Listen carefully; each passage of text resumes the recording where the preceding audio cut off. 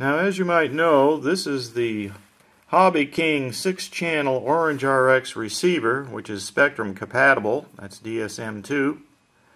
And uh, it's a fairly inexpensive receiver, and a lot of people use it.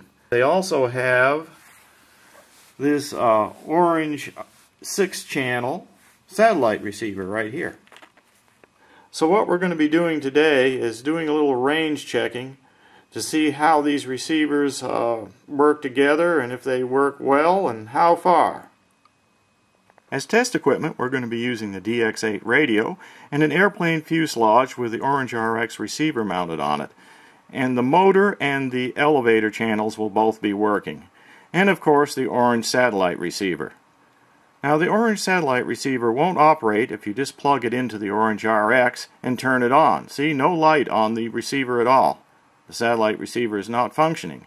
So you need to rebind the Orange RX with a satellite receiver connected. Once you do this, both lights will be on solid. Then simply go ahead and remove the bind plug and recycle the power and you should get two solid lights like this. At this point it should be working. Now the DX8 radio can be put into range test mode by scrolling down to range test and pressing the roller button and then holding the button on the back to put it in low power mode while doing the test. Test commencing.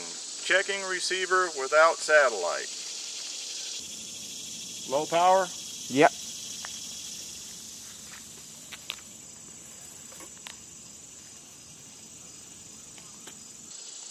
Back up a little. I forgot to, I got to count the paces. On the first of the three tests, we paced down the road without the satellite receiver attached and got about 80 paces. Okay, it went out at 80 paces. Alright, it's recording now with the antenna on. Satellite antenna.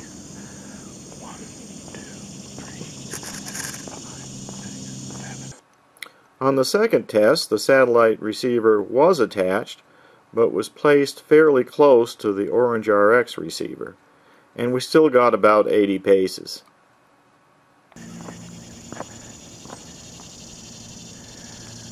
Okay, we're at 80 paces again, and looks like the light's gone out. Okay, this time, in case some people might think the antennas were too close together, I've moved the satellite antenna out on the tail and we're going to try it again with the satellite antenna separated from the main receiver. Okay, here we go. Low power. Does everything work? Alright. Alright, here we go. On the third test, the two antennas were separated as long as they could be along the wire and we did indeed get more range. Here's the 80 mark, 82, 83,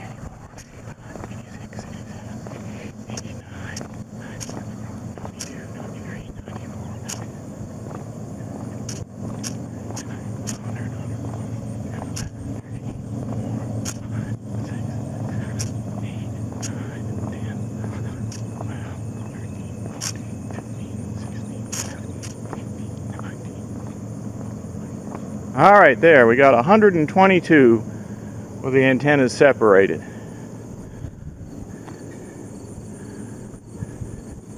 Okay, coming back.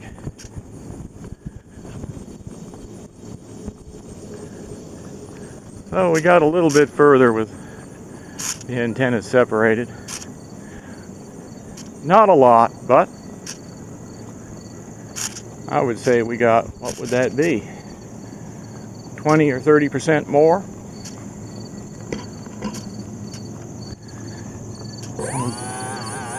We're back at the mark again. I can tell once I hit that mark, the lights stay on a lot more solid. There was a little bit of blinking going on there for a while. So that was with the antenna out on the tail.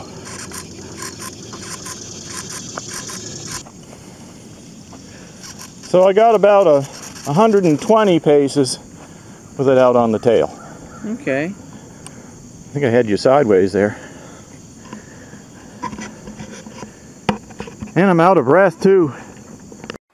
So we went on to measure the distance between the marks that I had paced out using Jon's digital measuring device that he built himself. And at the first mark, which was the 80 pace mark, we got 70.16 meters. And on the second mark, which was 122 paces, we got 107.64 meters. Let me get it over here better. That better?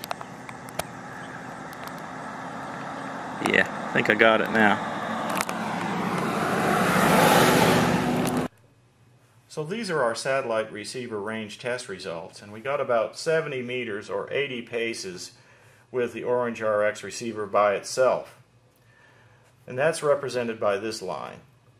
We then added the uh, Orange satellite receiver onto that and range tested again with the antennas about this close. And we got about the same distance, which is represented by the second line. Then we went and spread the two receivers apart, basically like this, the full distance. And we got this third line here, which was 107 meters or 122 paces. And that represented about 53% more range.